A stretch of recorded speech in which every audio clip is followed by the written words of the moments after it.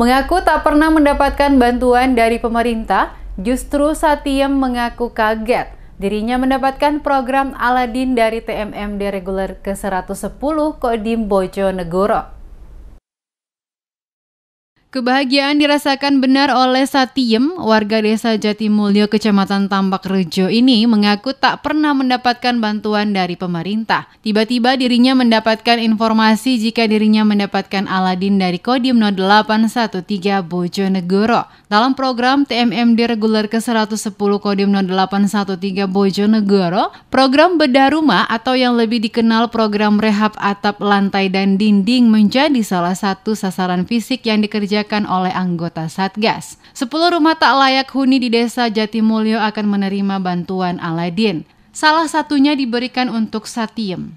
Bahkan untuk persiapan, anggota TNI dari Kodim Bojonegoro mendatangi rumah Satiem saat pelaksanaan pra TMMD.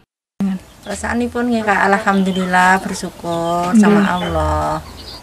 Ya alhamdulillah nih tani merdam ngene tiang nggih niku nomor gelaran tiker tak nomor tiker apa gitu kalau Satiem mengaku baru kali ini mendapat bantuan dari pemerintah. Dengan mendapat bantuan ini, Satiem bersyukur karena rumahnya akan diperbaiki.